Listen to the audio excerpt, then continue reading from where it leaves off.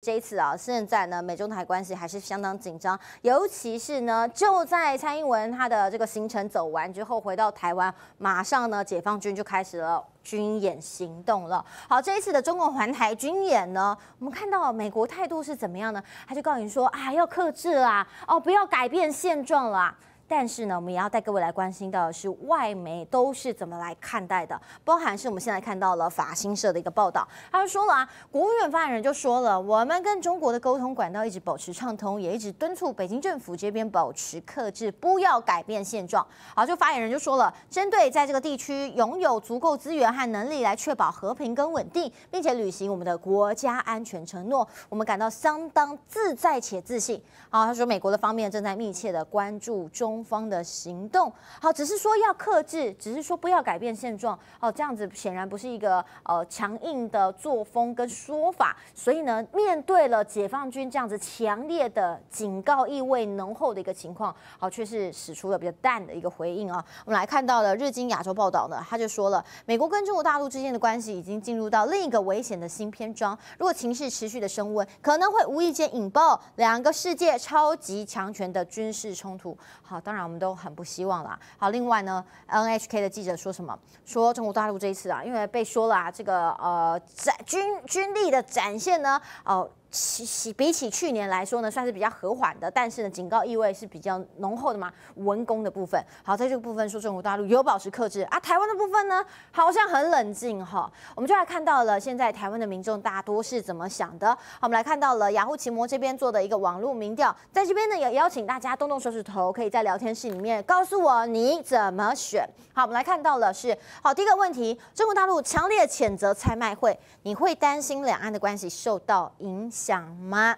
好，我们来看到了最多的是百分之三十四点八，好，将近了百分之三十五，说非常担心。好，再来呢是有点担心的，我们看到了百分之二十四点三，也就是呢担心的超过一半。好，不管是有点担心还是非常担心，超过半数以上了。最后一个问到大家说，认为蔡麦会对台湾国际地位有没有帮助这件事情啊？你看到六成的民众认为说完全没有帮助啦，反而是呢带来了紧张情势了。在这个部分呢，最新的数据给大家来做参考了。现在呢，大陆东部的战区呢宣布了进行三天环台军演这件事情，就点明了针对蔡英文总统访问友邦顾境美国，同时立刻引发全球主要媒体的关。关注好，国际媒体路透社呢，在上午的部分同步访问了两岸，包含是台北跟北京的民众对大陆进行军演的看法，一起来看。照样子去做，不用害怕。对啊，因为我们有台积电，对，然后还有美国的保护。对啊，因为大陆讲统要统一台湾很久啦，可是一直都没有动作。对。所以我觉得台湾还有台积电保护，然后他们也不太敢有大动作，因为美国也会制裁他们嘛。就是已经没有感觉，因为这件事情真的讲很久。但是我觉得，毕竟生活还是要过嘛。那我觉得我们台湾人生活就是平常心就好，因为其实他们政治的东西跟跟我们也无关，他们要统一什么的，呃，我们也没办法讲什么东西啊。就看是呃，我们自己要移民去别的国家也好，还是在台湾继续生存，就是看个人。呃，会有担心，因为我是做国际贸易的。我首先我的主要市场就是美国和加拿大。呃，这个的话，对于我们做贸易的来讲的话，呃，也会担心这方面有那个影响。但我觉得美国这个国家从来都不是做那种呃，怎么讲呢？他们从来都是偷奸，非常狡猾的，不会让自己吃亏很多。真正要，我觉得他应该不会真正跟我们打起来。在这边呢，我们线上邀请到的是中华战略学会的资深研究员，也同时是前海军的舰长、退役上校张静。张静老师您好，您好，何小姐您早，呃，各位中天的观众朋友们，大家早。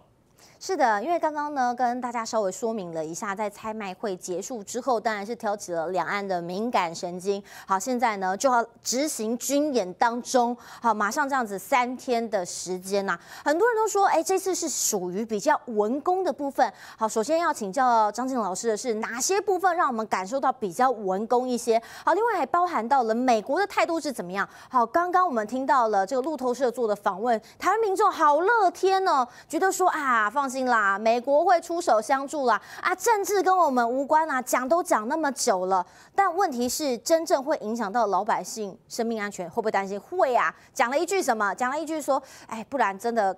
过不下去的就移民吧。好，这样子的心态都已经出来了。美国到底对于台湾这样子的一个呃总是很棋子的角色啦，他这一次又是什么样的态度来看待？好，似乎呢只是喊喊话说啊，这个不要过度啦，然后呢不要改变现状啦。好，这些的说法似乎也没有所谓的恫吓力。张静老师怎么看？我想啊，这个根据啊目前的状况来讲，这一次啊，这个蔡英文总统啊出访友邦，过境美国，然后跟美国的政要见面，中国大陆基本上来讲，他啊采取的这个基调，基本上还是文攻武赫。但是呢，楚文攻呢与武赫的相对的强度以及啊很多啊指标，其实都有啊让我们感觉到，在武赫的这方面，也就是说，我们今天把它当做在唱一场戏，有文场跟武场。在武场呢，基本上来讲不是这次反应的基调，因为跟呢，假如我们今天对比去年啊八月，Nancy Pelosi 美国的前众议院啊议长来访之后啊，他那次啊所做的反，这个就是军事啊。各种啊恫吓的反应，还有施压的反应啊，我们啊基本上来讲有两点啊是非常不一样。第一，他没有在我们的这个台湾本岛的周边划设任何的禁航区；第二，没有在台湾啊这个周边的这个非常临近的海空域啊实施啊实弹的射击。光这两点，也就是代表所谓在武场啊，也就是说武赫方面的整个强度啊是在要降低。而且同时呢，这个他啊宣布了做两个事情，一个就是所谓的战备警巡。战备警巡呢，其实并不是解放军的标准军语。换言之，这个在中国大陆的内部，也一直在讨论所谓战备警巡啊到底是什么。而且战备警巡呢，从二零二一年啊开始啊就已经用过这个名词。那这个名词到底啊代表是什么样程度呢？大家各方说法不同。所以我觉得。今天啊，假如说真正呢要说清楚、讲明白，要真正让啊台湾啊乡亲有感，而且呢真正啊实行武赫，不会找出这种啊这模模糊糊，而且没有啊办法找出真正连自己解放军都没有标准定义的一个名词。另外一个呢，就是讲了，就是一个联合利剑演习。联合利剑演习啊，究竟啊是在哪一个海域、空域或者地域啊举行？究竟啊它操演的科目是什么？所以啊，这个也没有讲清楚。最重要，这个演习以前并没有同类的演习，所以这一次啊专门啊做这些动作，宣布了这么一个名词，而且呢也没有讲明它真正的演习的地域，更是让人呢就是啊丈二金刚摸不着头脑。所以在这个情形之下，我认为啊，美国啊跟啊这个就是北京与华盛顿之间，双方啊一定啊事先有通联，也有相当程度的默契。所以尽管啊华盛顿那边公开的发言要去这个一直啊不断讲不要改变现状，要克制。但是很明显呢，大家可以看出来，那是官样文章以及外交实力。而事实上呢，这个双方都有一定程度的了解，而且美国也没有啊强势或者公开宣布他做出了任何对应性的军事部署。对于这些中国大陆在我们周边的这些军事动态，对比啊，平常啊，这个共军的基建就在我们身旁啊现身。这一次共军的基建虽然啊，现在的政府高层。不断的在那个强调数目啊又要超过如何如何，要各种啊去提升温度。但是呢，台湾民众诚如刚才啊您啊街坊的那边要所显示，台湾民众真正啊去啊回应的强度也是相当有限，而且对于两岸的形势呢，基本上来讲也有啊一定程度的这个信心，认为啊它也有一定啊稳定。跟的就是现在的执政高层希望去啊政治操作的方向，其实啊并不是完全一致。所以呢，我们啊会发现，就是政治领导，我们国家之内啊，政治领导阶层跟社会的普遍民意啊，确实啊是有啊脱节的现象。所以在这个情形之下，我在这边呼吁啊，台湾消息，就是第一，这次啊虽然在军事上有采取啊这动作。但是武场啊，毕竟是为辅。我认为真正的所谓报复、施压、表态的行动是在文场。我在这边啊，要点出一个大家并没有注意到的事情。这一次啊有宣布制裁啊，这个我们的远景基金会，远景基金会是基本上来讲是我们的就是这个政府机关跟呢国外啊智库联系，而且要做国际宣传的一个单位。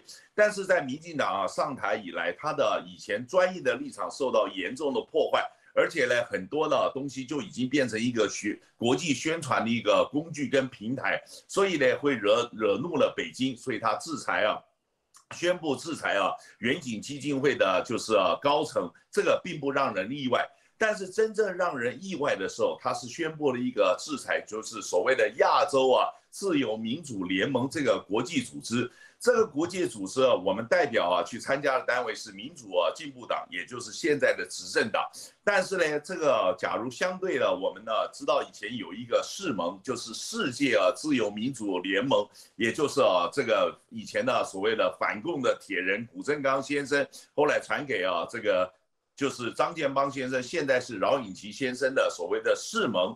那个啊在啊呃就两个组织相比。那基本上呢，这个亚洲啊，自由民主联盟的档次啊，那不知道低了多少，而且国际啊，真正的它的活动的能力啊，跟那个声誉啊，也不是差了多少。但是呢，莫名其妙，他突然被点名啊，制裁，这就是让人家觉得其中啊，大有内部跟大有玄机。假如各位观众朋友认真去啊追查那个亚洲自由民主联盟啊，那上面的网站，你会发现啊，那上面网站的资料。这个民主进步党的主席啊，仍然啊还是卓荣泰，而且呢，秘书长的名字还是挂的罗文嘉。换言之，这就是一个是死掉的组织，而且根本就没有活动的组织。那他到底是在做什么？是不是在担任某些啊我们秘密外交的白手套，还是里头有些什么不可告人的东西？而且被啊北京抓到了某些啊证据，所以才宣布制裁。所以啊，我在这边要强调，我认为这一次啊这个。中国大陆啊，针对啊，就是我们这个蔡总统出访过境美国，这个去啊，跟啊美国的政要相互交往接触这个事，决定要施压报复。真正的所有的努力是集中在文场，但是在表面的增厚上来讲之中，确实啊，各这个党政媒体以及啊喉舌啊这些的所谓的这个发音发声的管道啊，或者对台啊。去啊，这个就是发言的这个国台办、这个外交部以及啊，这个就是军事发言人这三个体系对台喊话的体系呢，都也恶狠狠讲了一句话，这个讲出了这些啊，就是恫吓施压的话。但是呢，真正的就是实际上做的动作，却比啊去年八月啊，确底啊是降温了很多。所以我还是跟各位啊台湾乡亲讲，就是说大家啊这个稳得住，而且能够气定的神闲去面对这个问题。因为啊，从啊今年这个今年的这个年初开始，从习近平开始，我们可以感受到中国大陆要将这个温度啊往下降，而且要降温。所以海峡的形势基本上是稳定的。我认为啊，那个街坊的动啊，有这个稳定的看法，这是啊值得肯定的。确实是不用到过度紧张，但是呢，这个警告意味、文攻的部分呢，较劲意味还是在的啦。那刚刚呃，张震老师后面说的那一段，有点算是独家观察的部分，对不对？算是独家观察，应该是如此。因为啊，就是说。身为一个战略的评论者，假如有良心啊，就必须要拿出证据。我们有很多啊，所谓名嘴或者说那个战略分析师啊，都是跟着中国共产党那边的媒体啊，抓到几个字就在那边啊胡说八道，或者在那边啊就说发出耸动的消息。譬如说像这个海巡啊，这个零六，他啊这个在空间执法，其实他已经啊这个就是相关的海巡舰艇啊。这我们查到的资料发现啊，他这些执法的行动，从最早的海巡二十一啊，这个就是整个已经做了十五年，而且十五年来都在做这种事。就连这个最新的这个海巡零六，去年的八月也做过同样的任务。但是我们就是有一些啊所谓半吊子的学者会说他会扩大，然后划内海，然后呢说是这个执行临检，然后扩大势力范围。但是这些人就没有好好把书念好，去看看啊。呃，联合国海洋法公约根本就没有内海这个名词，所以呢，都是跟着一些中国大陆或者说美国的智库这些媒体去当别人喉舌，也就是去当人家和音天使，没有自己啊去判断啊独立研究的能力。它是澎湖福朋喜来登酒店推出的海皇鲍鱼干贝 XO 酱，小小一瓢啊，可是有大大的学问，里头有很多像是呢这大干贝就有很多像是这二十多种的氨基酸，其实对于你人体之间是非常有效的，因为它里面有球蛋白，也是加分再加分。